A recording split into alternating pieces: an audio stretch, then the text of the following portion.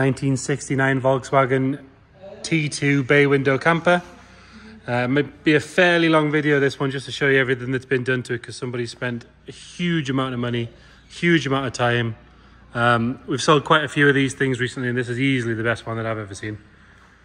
Some amazing amount of work. As you can see, two-tone, sort of metallic grey, black over a beautiful, almost candy red um, with these lovely black and, and chrome wheels. You know, they've got the trouble of getting the, uh, the, the front and rear bumpers done in, in the top half of the body colour.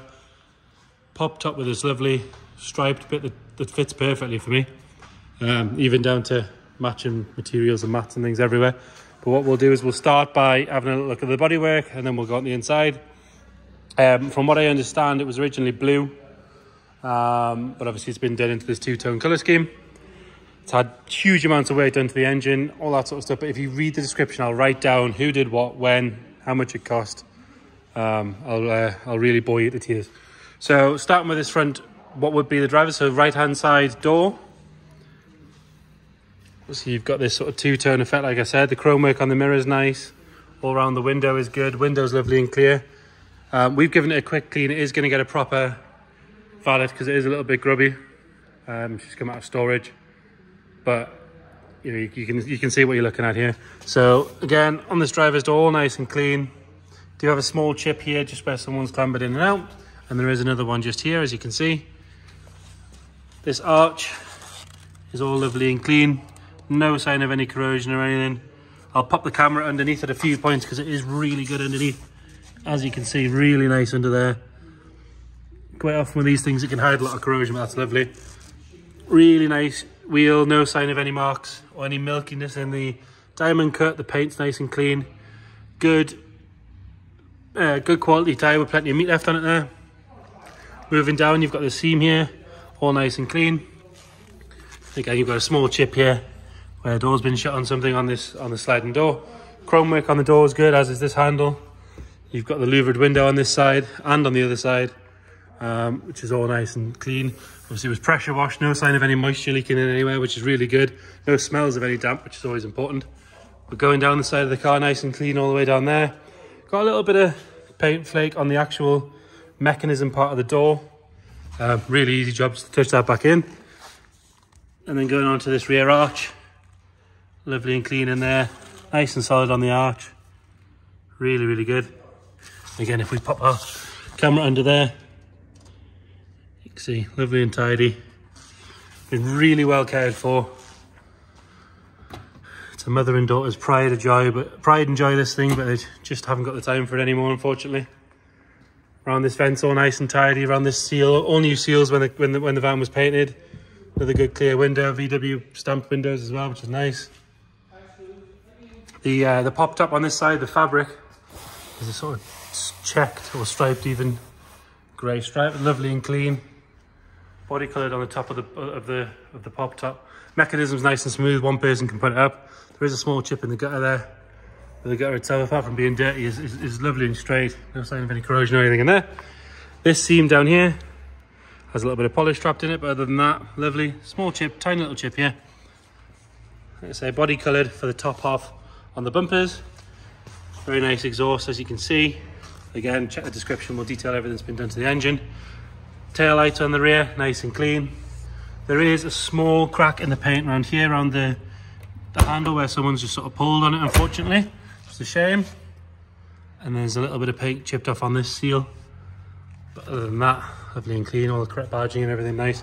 Around this rear wheel window, another new seal. All nice and clean as you can see. Heated rear screen, couple of stickers because it's a VW camper, that's the rules. It's got to have some stickers, isn't it? Onto this rear corner, all nice and clean, nice and tidy. Got a little little scratch there, tiny little one, as you can see there. Obviously we're filming this in 4K, so it's lovely and clear. If you look down the side, really, really nice and straight. Another big seam here, which is quite often, now a check, you've got a tiny little bubble at the bottom here. It's just one sorted before it gets any worse.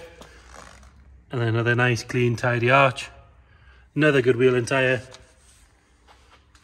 around this seam at the top here, which flows down there. All nice and clean in around the vent, all good. Popped up on this side. It's lovely. Again, around the windows, all good. Nothing to whinge about. Another good louvered window. Again, like I say, thing was pressure washed within an inch of its life the other day. No sign of any moisture in the front, none in the cab, none in the popped up, nothing. Really, really good. The uh, sill on this side again, all lovely and clean. Again, you can see underneath. Much easier when these are nice tall vehicles, not slammed on the deck. You can have a proper look at these. Makes my life so much easier. Again, another nice clean arch on this front left corner. Little chip in the paint here.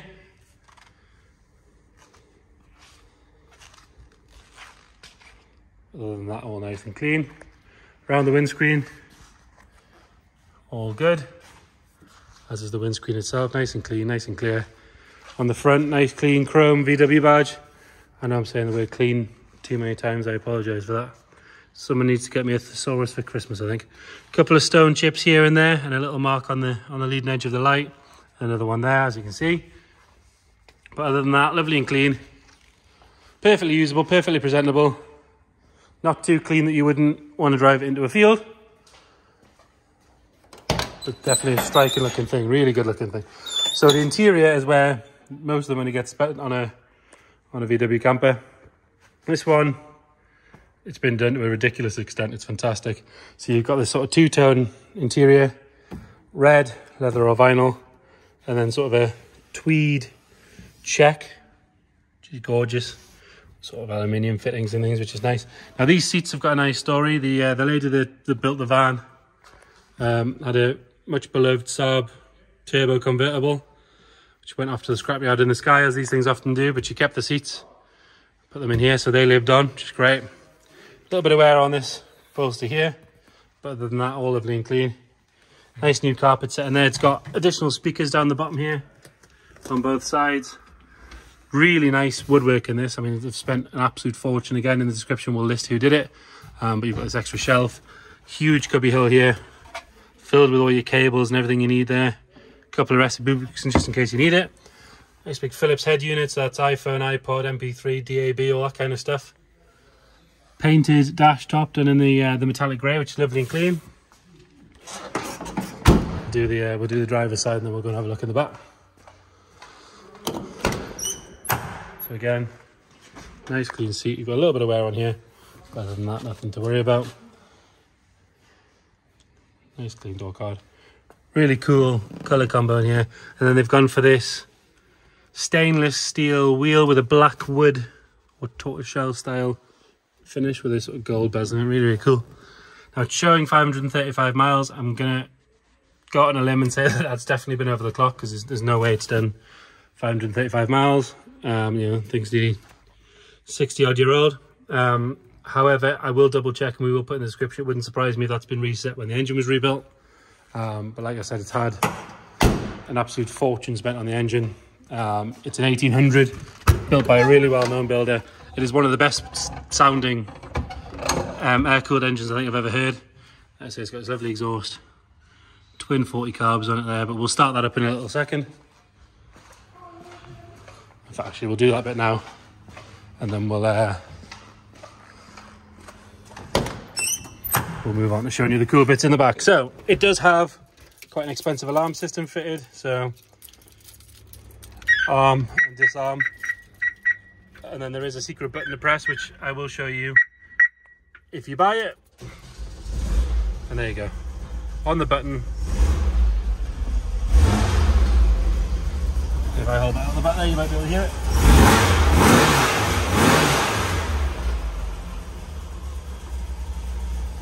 like I say lovely sounding thing.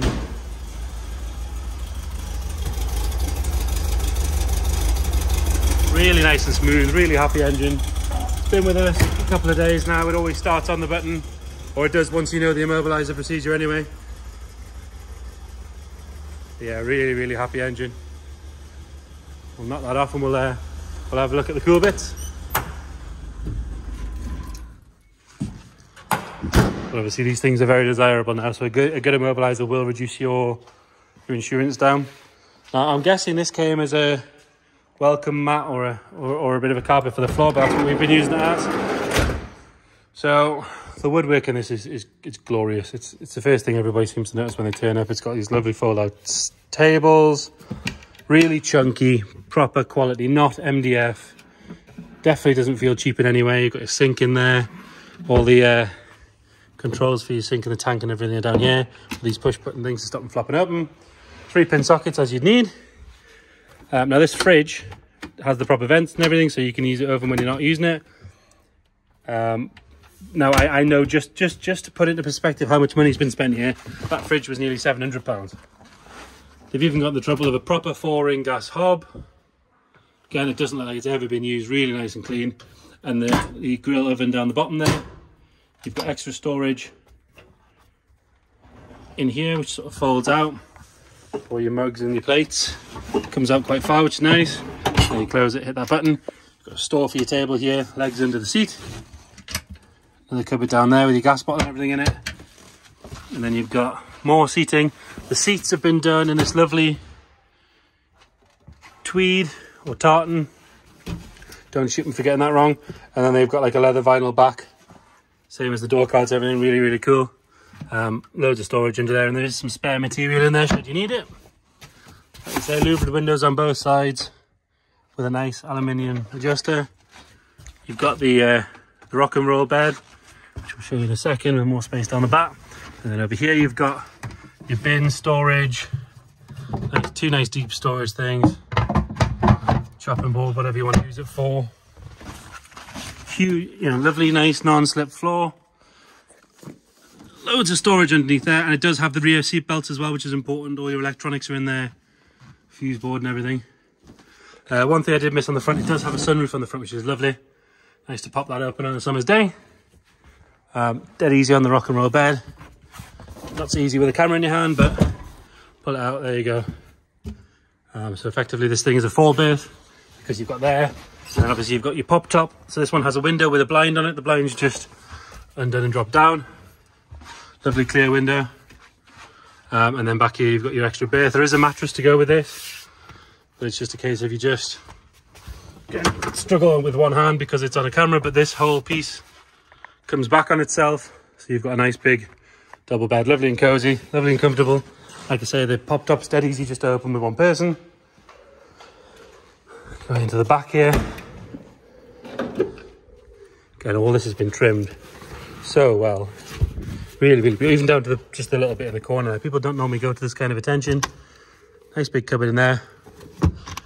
LED lighting everywhere with their own little switches.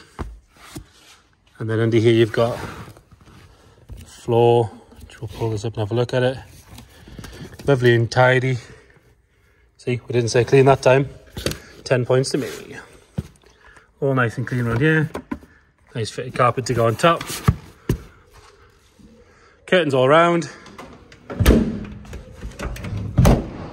So there you have it. Easily one of the best campers on the market at the minute. Easily one of the most eye-catching. It's going to cost you more like 45, 50 grand to build something like this.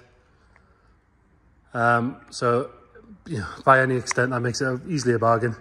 Ready to go, jump in it, take it wherever you want. Any inquiries, please get in touch. You're welcome to come and see it. Happy to show you anything on it. You can come and have a view any day apart from a Sunday. Even if you do want to come on a Sunday, to be honest, just let us know. We're happy to come and come and show you. If you want a video call, not a problem. If you want extra photos, extra videos, whatever you need, just let us know. We'll help you out. Thank you.